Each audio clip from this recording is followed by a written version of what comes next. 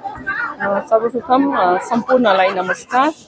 हुन त अब भिक्ट्रीको पश्चात आज मात्रै आयो भन्ने कुरा भन्न मिल्दैन। हामी अगाडिको दिनमा जति बेला सावनको अन्तिम दिनको त्यो दिनमा पनि हामी आएको थियौँ नाम्ची त तर हो आज जनसभा सभालाई भेट्न चाहिँ खासमा भेट्नै उहाँहरूलाई भन्ने कुरा पनि होइन किनभने आगामी दिनमा हाम्रो बाइपोल हुन जानेछ नाम्ची सिङ्गिथाङबाट तर आज चाहिँ हामीले कोअर्डिनेसन मिटिङ गरेको थियौँ र त्यसकै साथसाथमा अब यहाँको जति पनि आदरणीय जनता जनार्दनले जुन चाहिँ विश्वास र भरोसा गरेर हाम्रो पार्टीलाई विजय हासिल गरेको थियो। त्यसको त्यही कार्यक्रममा म व्यक्तिगत रूपमा उहाँहरूलाई धन्यवाद दिने कार्यक्रम पनि यहाँ जुन चाहिँ कार्यक्रमको आयोजना गरिएको कार्यक्रममा त्यो पनि भयो। र उहाँहरूलाई अब भेट्न त सबैलाई भेट्न थियो तर आधा जस्तो मात्रै भेट्यौँ र आउने दिनमा फेरि भेट्छौँ। र म कति जति कतिपय मा मानिस है महानुभावलाई भेट्न पाइनँ उहाँहरूलाई म मिडियाको तर्फबाट फेरि पनि एकपल्ट धन्यवाद दिन चाहन्छु। अनि यो पनि भन्न चाहन्छु कि जुन भरोसा विश्वासले उहाँहरूले मलाई अनि हाम्रो पार्टीलाई विजय गराउनु भयो।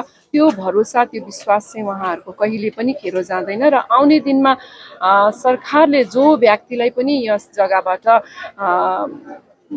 उम्मेदवार बनाउँछ त्यो उम्मेदवार अब पक्कै पनि हासिल विजय हासिल हुन्छ र विजय पश्चात उहाँ विधायक बन्ने पश्चात चाहिँ म पनि उहाँ सँगसँगै कार्य गर्नेछु र साथसाथमा हाम्रो सिक्किमबाट सरकारमा बस्नुहुने सामान्य मुख्यमन्त्री उहाँले पनि काम गर्नुहुनेछ।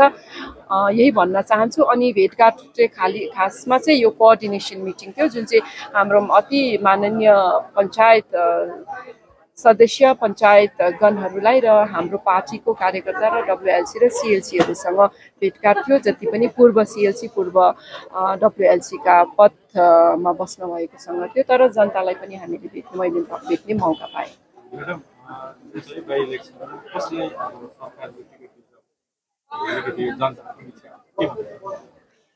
त्यो त यस्तो हो अब हाम्रो पार्टीको सबै पार्टीबाट सबै मानिसले नै पाओस् भन्ने हामीलाई त लाग्छ।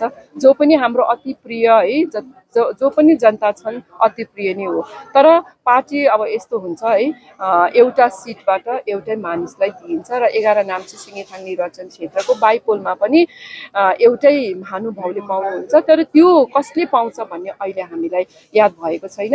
यो सबै चाहिँ हाम्रो पार्टी अध्यक्षको निर्णय र पार्टी अध्यक्षले नै घोषणा गर्नुहुनेछ। मैले अगाडि पनि भनिहालेँ जसले पाए पनि सिक्किम क्रान्तिकारी मोर्चा पार्टीको व्यक्तिले पाउनुहुन्छ र सिक्किम क्रान्तिकारी मोर्चा पार्टीको अहिले सरकार गठन भएको छ दोस्रो पल्टको र जसले पनि पाउनुहुन्छ उहाँको विजय निश्चय नै छ र विजय पश्चात हाम्रो यस एघार नाम्ची सिङ्गिथाङ निर्वाचन क्षेत्रमा म त परिहालेँ पूर्व विधायकमा र म पनि उहाँ सँगसँगै रहनेछु र त्यसको साथसाथमै सिक्किम सरकारका सम्मान्य मुख्यमन्त्री एवं पार्टी अध्यक्ष पनि एघार नाम्ची सिङ्गिथाङ निर्वाचन क्षेत्रसँग हुन्छ र यहाँका अति प्रिय र अति आदरणीय जनता जनार्दनलाई म यही नै भन्नु चाहन्छु।